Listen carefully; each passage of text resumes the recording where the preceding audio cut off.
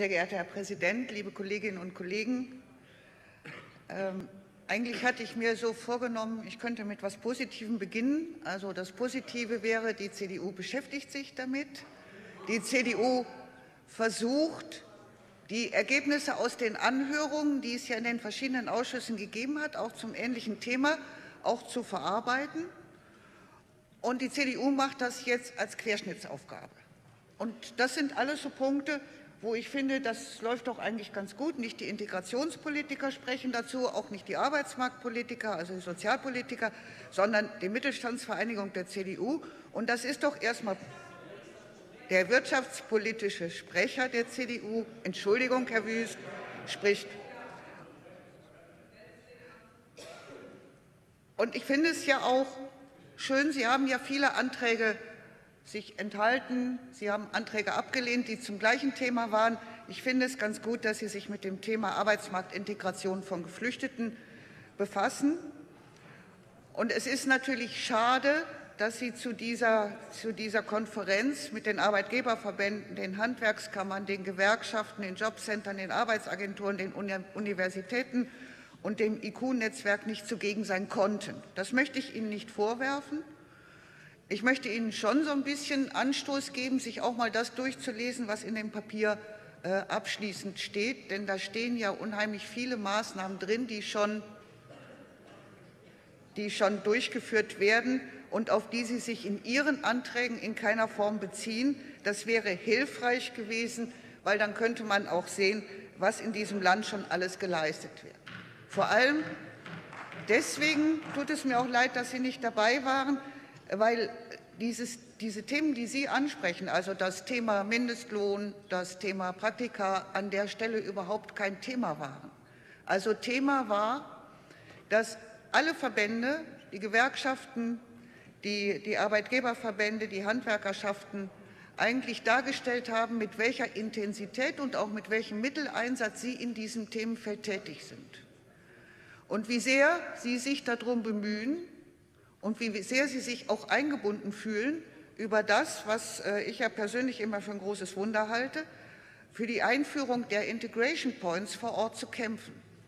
Denn in den Integration Points wird ja genau das passieren, was Sie in Teilen Ihres Antrags fordern, nämlich die Koordination und Kooperation aller vor Ort, um die Arbeitsmarktintegration von Geflüchteten zu bewerkstelligen.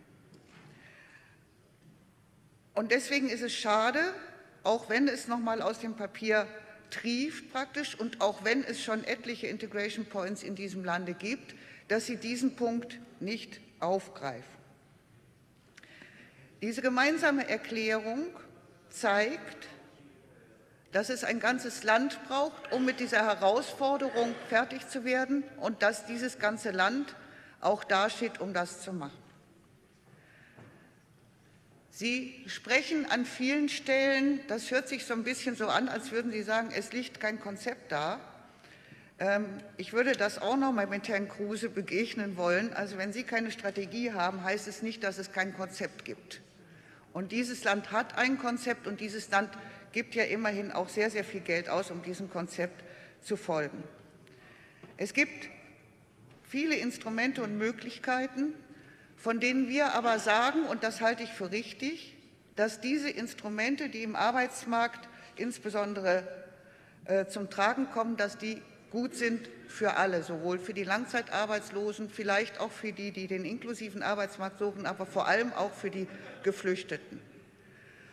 Und Sie sagen, und da bin ich jetzt so nicht so ganz klar, Sie sagen, reden von Schutzsuchen, die keine Erfahrung mit der beruflichen Bildung haben. Und damit gehen Sie natürlich vollständig vorbei an den anderen Teilen Ihres Antrags, denn Erfahrung mit beruflicher Bildung haben die Geflüchteten, die zu uns kommen, sehr wohl. Sie haben vielleicht keine Erfahrung mit dem dualen Ausbildungssystem. Was Ihre Forderungen an nach Bundesratsinitiativen angeht und äh, anderen Sachen, das kommt mir so, im Moment so vor, als würden Sie in NRW Wein predigen und im Bund Wasser verordnen.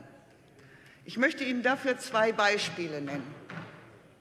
Das Beispiel ist die Frage nach den Integrationskursen, die ja in Ihrem Antrag nicht, aufkommen, äh, nicht vorkommen, wobei wir doch wissen, dass Sprache die Grundvoraussetzung für eine erfolgreiche berufliche Integration ist. Die Sprachkurse sollen, zumindest ist das der Vorschlag der CDU geführten Regierung, ähm, demnächst von den Geflüchteten wieder bezahlt werden. Das ist kontraproduktiv. Das führt ja nicht zu einer Arbeitsmarktintegration, sondern das führt dazu, dass hohe Hürden aufgebaut werden. Da braucht man nicht über Mindestlohn zu sprechen an der Stelle, sondern das sind ganz markante Hürden. Sie fordern, und das finde ich richtig, das ist auch noch mal aus der Konferenz herausgekommen, dass wir dieses Thema drei Jahre Ausbildung plus zwei Jahre Berufszugang haben sollen. Das ist doch nicht in Nordrhein-Westfalen. Hier wollen das alle. Das ist doch der Bund, der das verhindert. Zum Schluss möchte ich noch mal darauf eingehen, dass Sie ja irgendwie da immer Ärger mit den Berufskollegs haben und da multiprofessionelle Teams äh, haben möchten. Wären Sie mal alle bei den Haushaltsberatungen dabei gewesen, dann hätten Sie auch gesehen, dass diese multiprofessionellen Teams schon längst auf dem Weg sind und dass über also fast 230 Stellen äh, da jetzt geschaffen worden sind, um genau das zu gewährleisten, was Sie mit Ihrem Antrag beabsichtigen. Zum Schluss möchte ich auch noch auf das Thema direkte Abstimmung eingehen. Ich verstehe das ja. Wir haben so viel darüber geredet. Wir haben so viele Anhörungen gehabt, dass Sie sich keine weitere mehr antun wollen. Ich hätte es gut gefunden, wenn wir noch mal darüber hätte diskutieren, hätten diskutieren können in den Ausschüssen äh, und auch im Integrationsausschuss, um zu gucken, was haben wir an Instrumenten und wo können wir besser werden. Vielen Dank für Ihre Aufmerksamkeit und schöne Weihnachtszeit und gutes neues Jahr.